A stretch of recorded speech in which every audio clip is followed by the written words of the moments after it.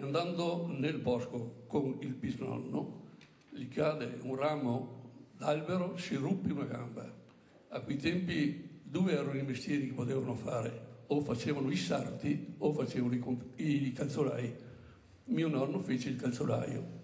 Una grande storia comincia spesso da un evento casuale e se il lavoro di famiglia era fare scarpe lo si deve a quel lontano incidente occorso al nonno. Ma se quell'attività è poi diventata un impero da 400 milioni di euro di fatturato, il merito è tutto suo. Giancarlo Zanata, fondatore del gruppo Tecnica, oggi ha 81 anni e, spronato dai figli e nipoti, ha deciso di mettere nero su bianco la sua storia.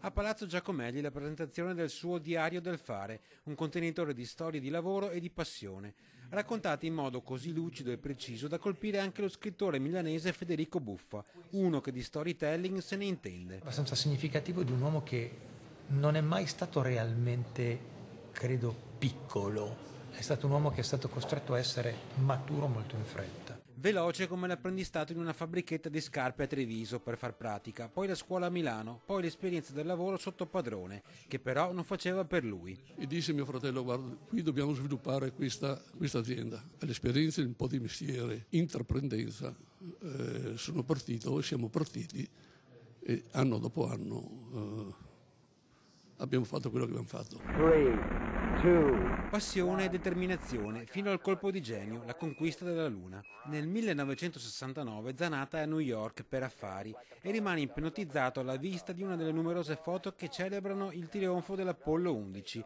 A colpire la sua immaginazione è quell'impronta lasciata dagli scarponi degli astronauti sul suolo lunare, così ovale, così insolita.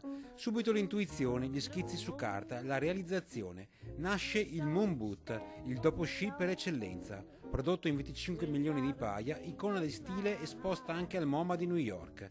50 anni dopo quella storia continua, sotto la guida del figlio Alberto, ma lui in giro in azienda se lo fa sempre e a chi gli chiede quale sia il segreto del suo successo risponde con una sola parola. La passione.